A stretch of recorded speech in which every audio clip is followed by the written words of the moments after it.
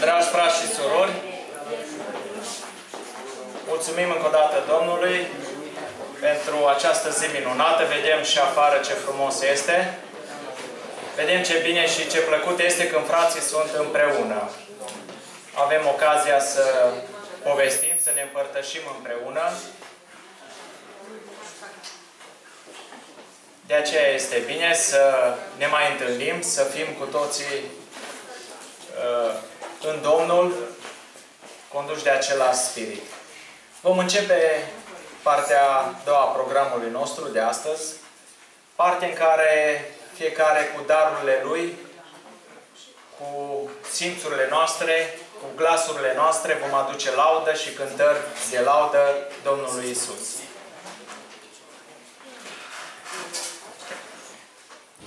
Vom începe cu cântarea de suferință Suferința ți mare. de, su- de suferința ție mare. Cu cântarea aceasta vom începe partea a doua.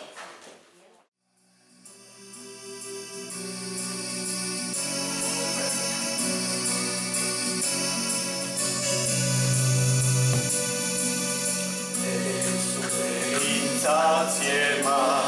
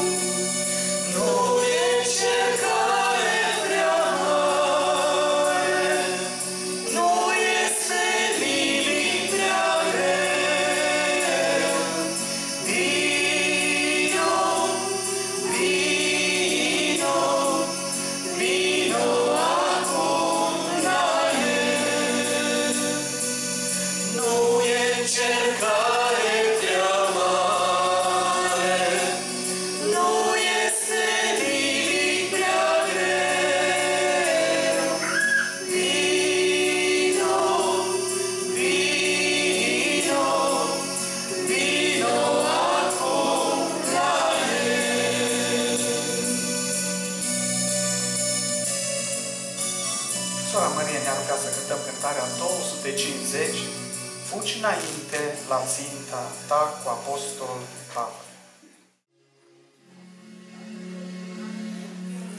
Fugi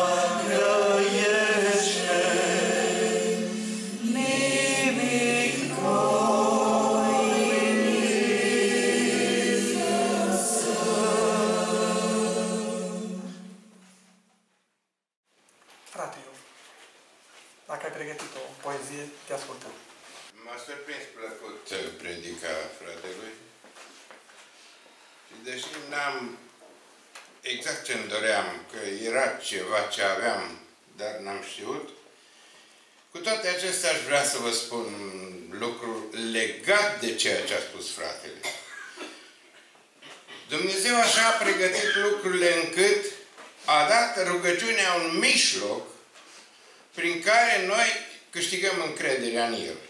Să ne putem adresa, să avem la ce ne apela. Ce s-ar fi întâmplat dacă n-ar fi fost rugăciunea? Care ar, fost, ar fi fost legătura noastră cu Dumnezeu? Cum ne-am fi putut noi ridica înaintea lui Dumnezeu? Ce ar fi ascultat Dumnezeu de la noi dacă nu am fi, dacă nu ne-am rugat? Mai mult, ce dovadă ar fi că cineva a fost ascultat?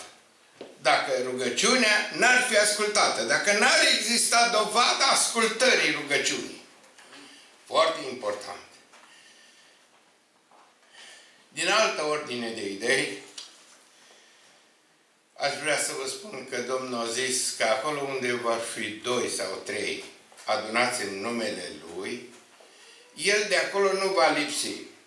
Urmăriți acum să vedeți cum încearcă diavolul să-i despartă și pe doi. Să nu mai fie doi. Să fie numai unul câte unul. Să nu îndeplinim condiția lui Dumnezeu. Observați uneltirea aceasta care este demonică. Am scris o scriere, poate o să vă pară ciudată, dar ea uh, spune niște lucruri interesante. Care pe care. Trăim în lumea lui care pe care. Omenirea dezbinată unii împotriva altora. Fiecare cu vederea bună a lui. Fără să citească printre rânduri litera citită, fiindcă este blocată mintea. Doare cititul nesusținut. Ne încovoie vânturile religiei. Suntem reținuți să spunem adevărul despre minciună. Suntem unul câte unul. Nu îndeplinim spusa Domnului doi sau trei. Suntem descurajați, suntem învinși în conștiință. Ne încăpățânăm în vederile proprii, aduși în starea de unul câte unul. Suntem catalogați fără obiectiv. Toți vorbesc, puțin mai ascultă. Parcă intelectul este blocat.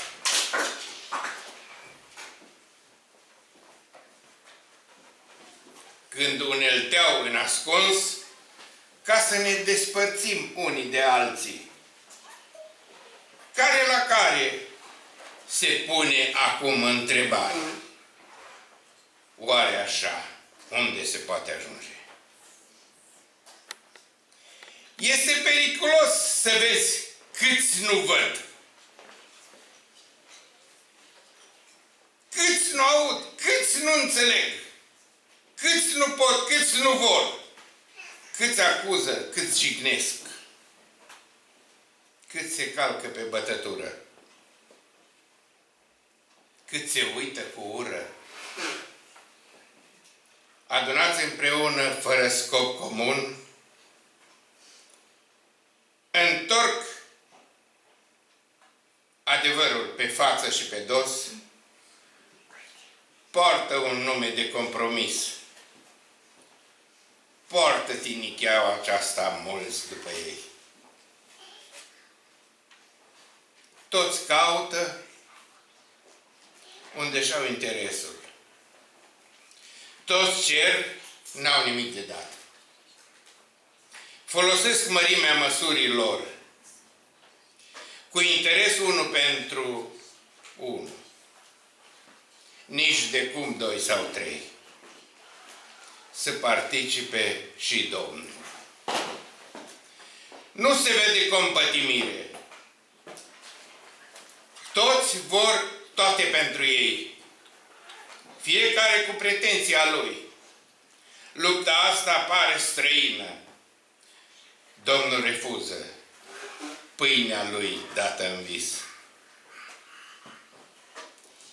Nu știu care ce ați înțeles din tot ceea ce am scris, dar aduc aminte ceea ce a spus fratele. Fără rugăciune, toți vom fi compromiși.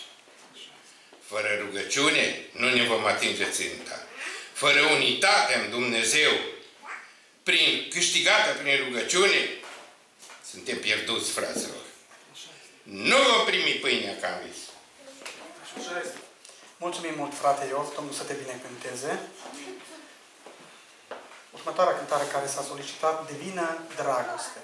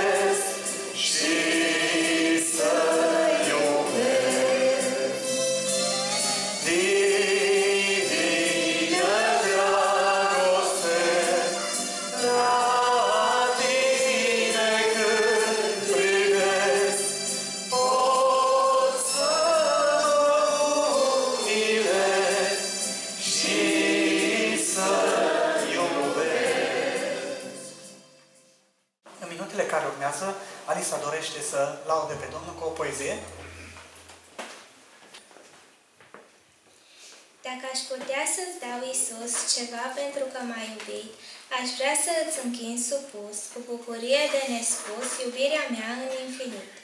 Dacă aș putea să-ți dau, Isus, ceva pentru că ai răbdat, aș vrea să rab și eu supus, cum ai răbdat tu când te-au dus, să fii pe lemn asasinat. Dacă aș putea să-ți dau, Isus, ceva pentru că m-ai salvat, când de păcate eram distrus, tu pe asinul tău m-ai pus. Ce dar să-ți dau că m-ai iertat? Dacă aș putea, dar tot ce pot, sunt neputințele din mine.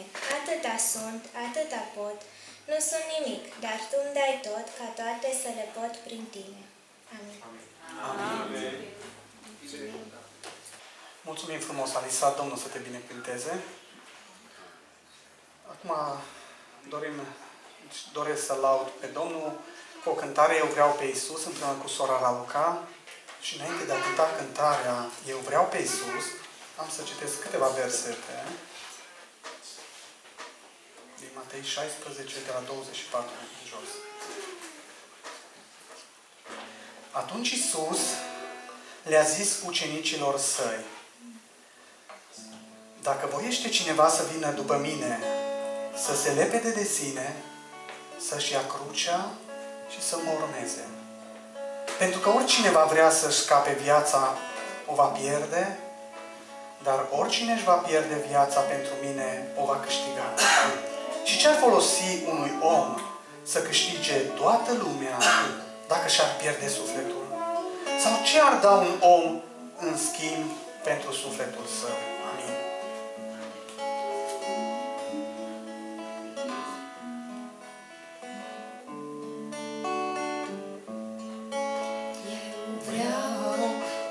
Iisus și iubirea sa decât